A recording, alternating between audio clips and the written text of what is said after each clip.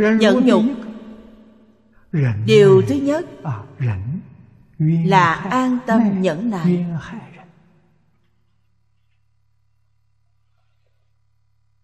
Không có tâm báo phục. Nếu gặp oán tắng độc hại. an nhiên nhẫn nại. Không có tâm báo phục. Điều này cần phải học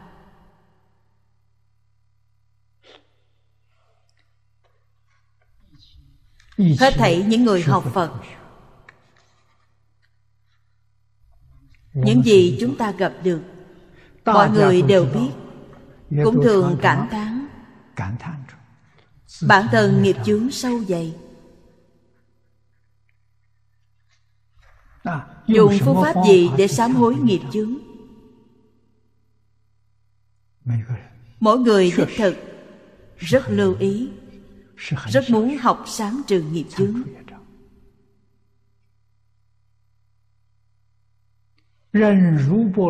Nhẫn nhục ba la mật là một nhân tố sám trừ nghiệp chướng quan trọng nhất.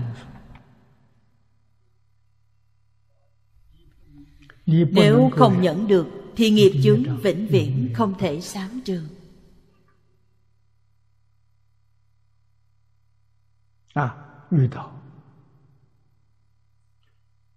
Gặp người oán hận chúng ta.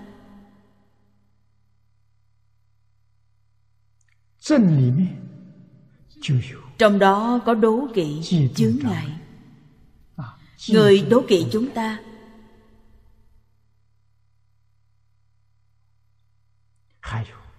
Còn có người hãm hại chúng ta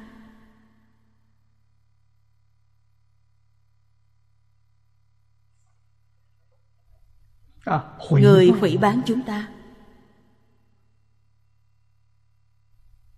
Nếu gặp họ phải làm sao?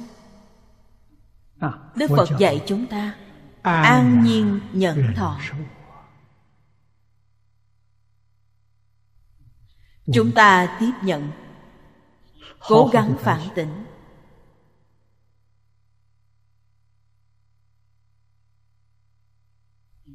Có thì sửa đổi Không có thì khen ngợi khuyến khích. Người khác hủy bán tôi hãm hại tôi. Chúng ta có gì sai lầm chăng? Quả thật có sai lầm. Cảm ơn. Họ nhắc nhở sửa đổi chính mình. Nếu không có sai lầm chịu oan uổng tai hại này cũng nên cảm kích họ nhắc nhở bản thân cảnh giác bản thân không nên phạm những sai lầm này.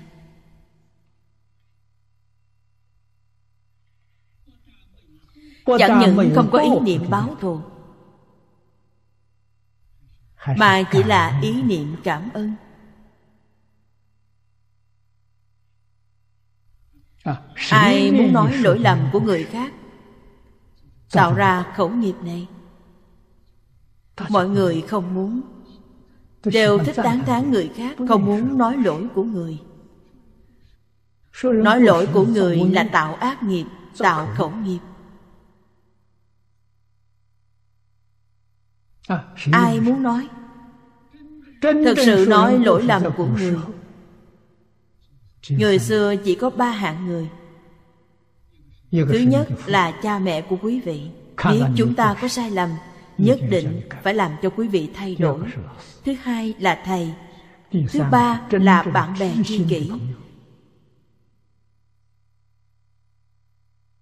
không phải ba hạng người này thì ai khuyên quý vị? Quý vị tạo nghiệp không liên quan đến tôi. Mỗi người đều có nhân quả báo ứng của riêng mình.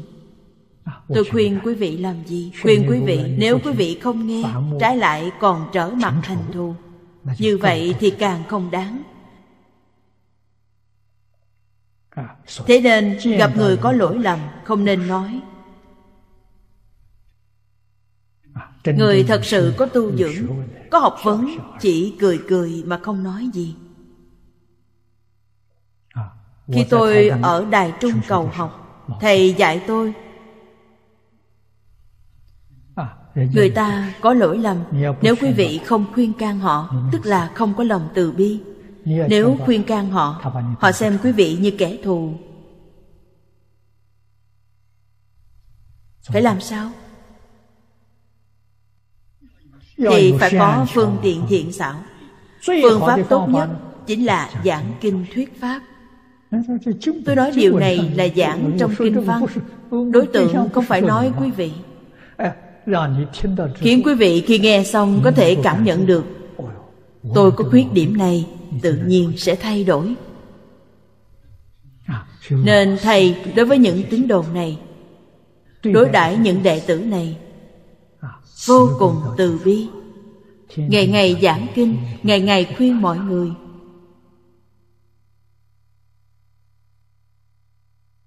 chúng ta phải biết nghe. Có một số người nghe kinh như thế nào? Thầy đang nói người khác không phải nói với tôi. Tôi không có như vậy. Là đang nói với người khác. như vậy? là coi như hết. họ không học được gì.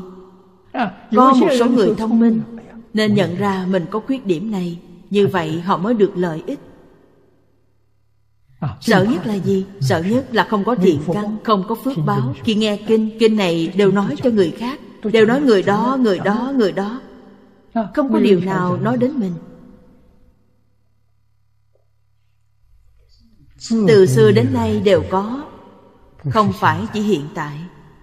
Thế nên khi chúng ta xem Phải dùng tâm bình thường để đối đãi. Rất bình thường. Có mấy người giác ngộ. Tức là người có thiện căn. Được mấy người có phước đức. Có thiện căn phước đức. Nghe kinh mới được lợi ích Vì sao? Vì họ sẽ phản tỉnh. Sau khi nghe xong Họ nghĩ lại xem mình có lỗi lầm này không? Tán dương việc tốt Thử nghĩ lại xem mình có đức hạnh này không? Họ biết học Nên nghe xong quả thật rất lợi ích. Tức là có thể thực hành trong cuộc sống. Người thật sự. biết học Quý vị nên nhớ Điều này có thể làm tham khảo. Mãi mãi chỉ có tâm cảm ơn. Nhất định là không có tâm trả thù Không có tâm oán hận. Nếu nghe lời can gián nghịch tai Mà sinh lòng oán hận báo phục.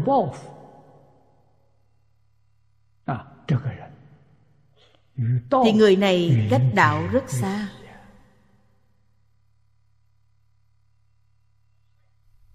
người này trong kinh gọi là nhất xiển đề nhất xiển đề là gì? Là không có thiện căn không có phước đức.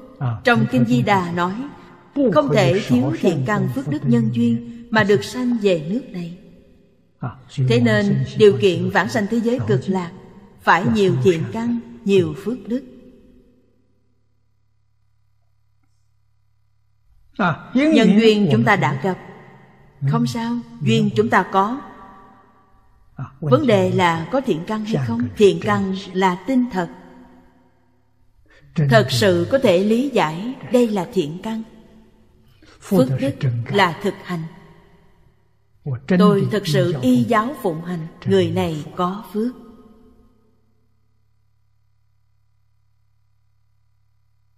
Nghe người khác phê bình. Bất luận phê bình sai hay đúng đều phải cảm ơn. Không đúng là sao? Họ thấy sai. Đã ngộ nhận. Đúng thì lại càng phải cảm ơn. Vì họ thấy được lỗi lầm của chúng ta. Điều này khó rất khó.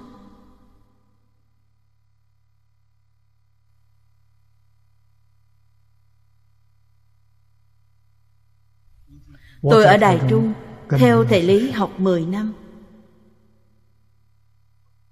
À, Thầy tổ chức lớp học kinh điển Chính là lớp giảng sư. À, Trong lớp có hơn 20 học sinh Bao gồm cả tôi trong đó.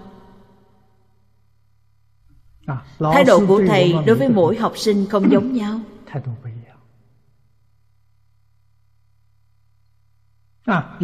Có người xưa nay thầy chưa hề dùng thái độ tốt đối đãi họ. Gặp là phê bình là la mắng. Có khi còn đánh nữa. Lớp này là lớp người lớn. không phải lớp trẻ con. Nhỏ nhất cũng phải hơn 20 tuổi Lớn nhất là cư sĩ Lâm Kháng Trị 60 tuổi. Thế nên khi lên lớp Đều có người canh giữ Không để người khác đến gần. Vì sao? Khi đánh mắng để người khác nghe được thì không hay. Cho nên ngoài cửa có bảo vệ. Có vài bạn học Thầy đối với họ rất khách sáo. Mỗi khi gặp nhau Đều mỉm cười. Mới đầu tôi cứ hoài nghi Vì sao thầy đối xử không công bằng? Đối với những người này thì rất dữ Nhưng đối với những người kia lại rất tốt. Thầy nhận ra tôi có hoài nghi này Có câu hỏi này nhưng không dám hỏi. Bị thầy nhận ra.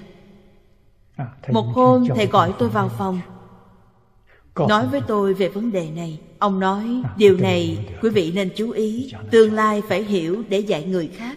Có người có thể tiếp thu Thật nghe lời. Người như thế phải thật tâm dạy họ Không dạy sẽ có lỗi với họ. Có một số người không thể tiếp thu Nhưng sĩ diện. Nói vài câu khó nghe là đỏ mặt. Như vậy nhất định không nên nói nữa. Nói thêm sẽ dễ kết oán thù. Lúc này tôi mới hiểu Không thể tiếp nhận. Đặc biệt là trước mặt rất nhiều người Cảm thấy xấu hổ Tức không thể tiếp nhận. Như thế nhất định không nói. Mới biết nguyên nhân thái độ của thầy Đối đãi với học sinh khác nhau.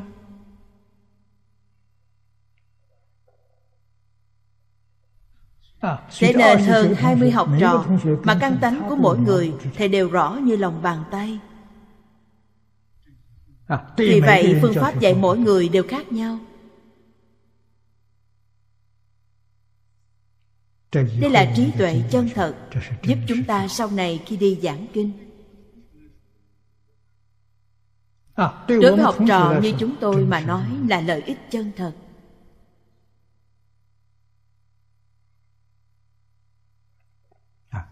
Thế nên nhẫn nhục quan trọng hơn bất kỳ điều gì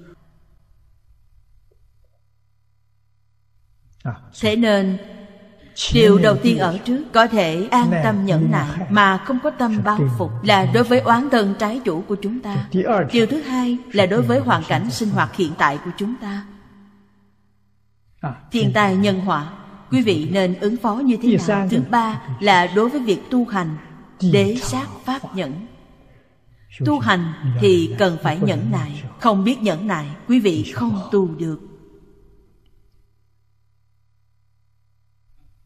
Ở đây đế là chân thật Sát là quán sát. Quý vị phải quan sát Phật Pháp Xem Đức Phật đã nói những gì Và nên làm như thế nào. Học kinh giáo mà không nhẫn nại Làm sao có thể thành tựu được? Niệm Phật không nhẫn nại Thì công phu niệm Phật này không thể thành tựu. Nếu không nhẫn nại Tâm thanh tịnh cũng chưa đủ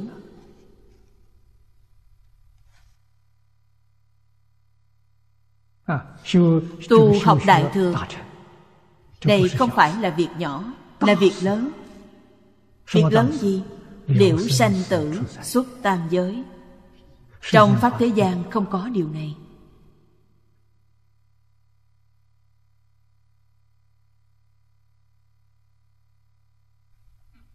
Đoạn phiền não khai trí tuệ Thành Phật đạo.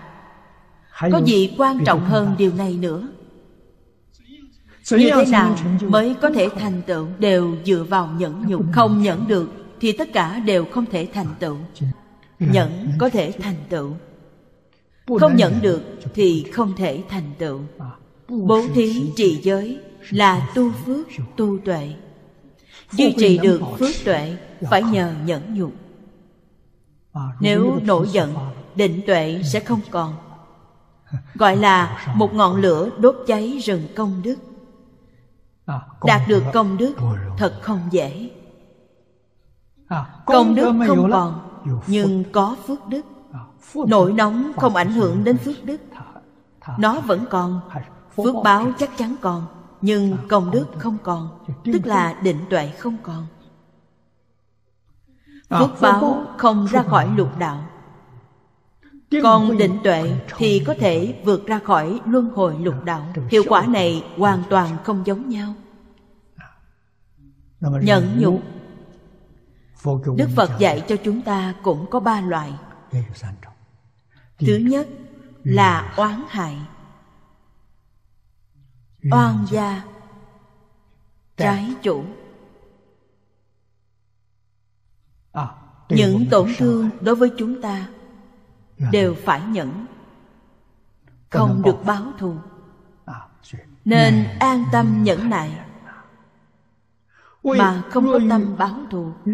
Nếu gặp oán tắng độc hại an nhiên nhẫn nại không có tâm báo phục điều này rất quan trọng. Những oán thân trái chủ này cũng không phải ngẫu nhiên trong quá khứ kết oán thù này. Còn có đời quá khứ của quá khứ. vô lượng kiếp đã gây nên phiền phức. hôm nay người ta đối với chúng ta như vậy là đáng. Đáng phải gánh chịu. không được có tâm oán hận. Họ hủy bán tôi sỉ nhục tôi hãm hại tôi chướng ngại tôi thậm chí là giết hại tôi. Tất cả đều phải cảm ơn. Vì sao? Vì trong đời quá khứ nếu tôi không dùng thái độ đó để đối đãi họ họ cũng không thể đối đãi với tôi như vậy. Vì sao họ không đối đãi với người khác như vậy? nhân quả thông ba đời. Nếu quý vị hiểu rõ đạo lý này bản thân chúng ta bị họ hại. Chẳng những không có tâm oán hận mà còn có tâm cảm ơn. thì món nợ này của chúng ta sẽ không còn nữa như vậy rất an lạc. Người học phật đều biết nghiệp chướng bản thân rất nặng. Những điều này đều làm chúng ta tiêu nghiệp chướng. Họ phát ra thực sự là tâm sân hận. Nhưng tâm này là bất thiện tương lai có nhân quả báo ứng. Chúng ta biết vậy nên không oán hận không trả thù. Không những cảm ơn mà chúng ta ngày ngày còn tu hành hồi hướng cho họ. Vì sao? vì tương lai họ sẽ vào ác đạo. vào trong ác đạo chịu khổ nhẹ một chút. Chúng ta vẫn lấy thiện tâm thiện ý báo đáp họ. Không hy vọng họ chịu quá nhiều đau khổ. Nhưng nghiệp nhân quả báo thì không ai tránh được đây là định luật. Còn nghiệp chướng của chúng ta nhờ vậy mà tiêu mất. Nếu người khác lấy ác độc đối đãi chúng ta vẫn còn tâm oán hận. như vậy rất phiền phức. Vì nút thắt này vẫn chưa hóa giải được. Chưa hóa giải điều gì? tương lai khi gặp quý vị lại báo thù họ đời sau nữa lại đến báo thù. đời đời kiếp kiếp oan oan tương báo không bao giờ dứt. Nên biết như vậy song phương đều đau khổ. Hà tất phải như vậy.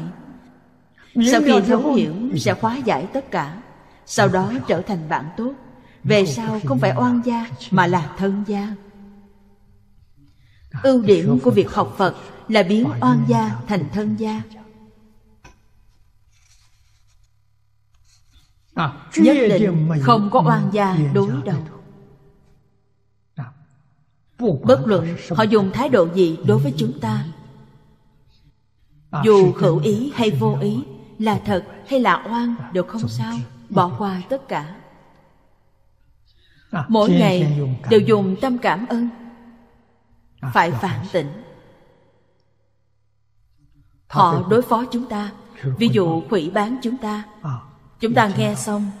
Phản tỉnh bản thân xem mình có lỗi lầm này không? Nếu như có cảm ơn họ đã nhắc nhở. chúng ta thay đổi triệt để. Nếu không có nhưng họ ngộ nhận. Tức là họ nghe lời đàm tiếu của người khác sinh ra hiểu lầm. Như vậy sẽ tiêu nghiệp chướng đời trước của chúng ta là việc tốt, không phải việc xấu. Thế nên nhất định phải có tâm cảm ơn. Chắc chắn không được báo thù.